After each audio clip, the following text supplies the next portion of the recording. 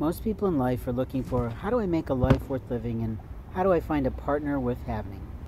Sometimes a life partner comes into our life unexpectedly. We don't expect them to show up when we're losing another life partner. We don't expect them to send us loving tweets and loving reminders that we are smart, intelligent, wonderful, beautiful, or handsome on a regular basis.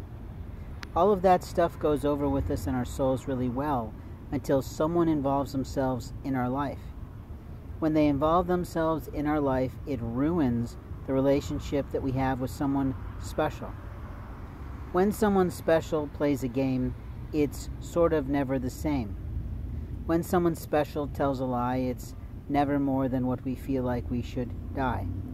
Now, when I make these rhymes, people don't think there's enough time, but the truth is, anyone can do it as long as you put your mind to it. In life, we have moments of time to tell people how we feel. We have moments of time to get really real. We have moments of time to be annoyed by the car noise, but then we also have time to develop more poise. In life, people are taking rights away from others. They are literally saying, This is mine now. I'm going to take this now. I have experienced nothing but shelter theft and asinine behavior of people since I arrived in Champaign, Illinois. My entire being has been molested. Things have been removed from my pockets by a law enforcement officer who has immorally and illegally stalked me. And as much as I'd like to say, screw you, buddy, what I know is that federal law is beyond in play. When today someone stole my journal he must recognize that he has just committed a felony. Not only is a journal personal property, it is filled with passcodes for cyber issues, which means they've created a cyber crime. It's also filled with life insurance policy information, which makes it a federal crime. It had money inside, which also makes it a felony. It had a gift card inside that was really what I was planning to eat with. So they've taken from a homeless man his money, his credit card, his journal, his information, his contacts, and you have to look at these people and you wonder, what in the world are you thinking? Under what God's universe do you have the right to steal anything at all? Every time I put cords in my bag, I wake up and find that some fag, no offense, has just picked out the cords that I set in for my own life. I am missing microphone cords, I am missing extension cords, I am missing Apple cords, I am missing Android cords, I am missing a lot of things that I pulled from a trash can because the loving Lord of God in heaven said, Go into this place, open this bag, and you will find what you need. It's amazing how people take advantage. I'd like to tell you the stories on that sometime, but I'm going to hold off so people can see the illness of their lives. In life, we have moments of time to tell someone what is real and how we feel. The rage I feel had to come out today because I cannot reset myself in a pagan way if I don't release the rage. I have a plastic bat and I literally obliterated that. It almost broke with how much force was coming out of it.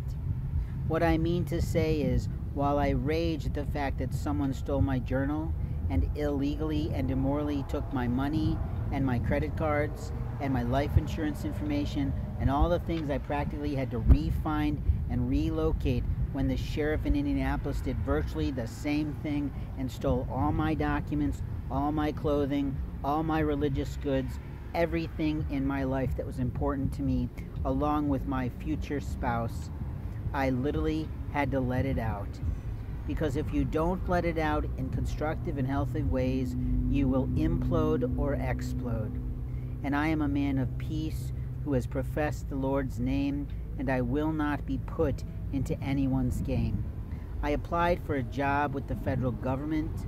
I believe they put me in play for a time. I was learning along the way because I am old, not young, and it takes a little while for me to stick things in my mind. But here's the problem, here's the pride, here's the issue that's facing those who are violating my life. The federal government may just be watching you through all the personal interest cameras around to take your little asses off to jail where you will never be found. Every time they threaten that on my life, the Lord puts me in a different place because the Lord God above handles all the love space. When a man is in love, he is gifted from above, and when she says no, she might just end up below. In life, we tell the truth of our life but when people die, they give up no strife. If I should die before I wake, I pray the Lord my soul to take. That was a nursery rhyme we spoke all the time when I was a child in my little bed. But what makes me so upset is how these men think they're going to play with God's head. You see, God produces a life, God gifts to people, and when men of the force or men of a family or men of a community steal in entitlement ways, they are literally taking from the house of the Lord of what the Lord has provided to the impoverished.